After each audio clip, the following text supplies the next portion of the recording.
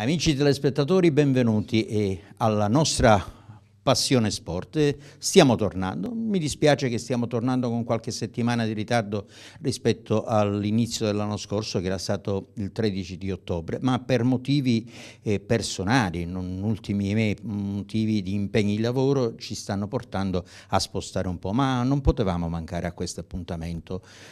Purtroppo però, dico anche per questo tipo di impegni che ci, ci, ci si parano davanti, Giuseppe Bonanno non sarà con noi, non sarà con noi almeno nella prima parte, è sempre eh, con noi, ma fisicamente non potrà essere per un, un, suo impegno che non sto lì a dirvi di cosa si tratta. E lo sostituisce e spero in maniera egregia, anzi sono certo che lo farà in maniera egregia eh, Filippo Di Cristina, Filippo Di Cristina che è un, un giovane giornalista che sta, che sta, crescendo e quindi eh, lo inseriamo in maniera professionale in nostro... Oh, in questa nostra produzione.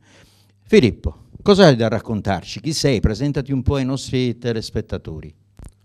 un saluto a tutti i nostri gentili telespettatori, Beh, eh, mi hai presentato abbastanza bene già tu Gaetano, sono un eh, giovane aspirante giornalista con eh, esperienze per quanto riguarda il web journalism e anche qualche eh, diretta eh, televisiva. Eh, mi auguro appunto, come ti sei augurato anche tu, di sostituire egregiamente eh, Giuseppe Bonanno. Non sarà un compito semplice perché insomma eh, Giuseppe ha dato tanto a questa trasmissione.